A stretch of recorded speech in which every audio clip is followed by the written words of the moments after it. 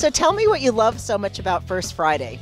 Oh, that's quite an easy question. So for me, I can meet friends down here, sometimes a spouse.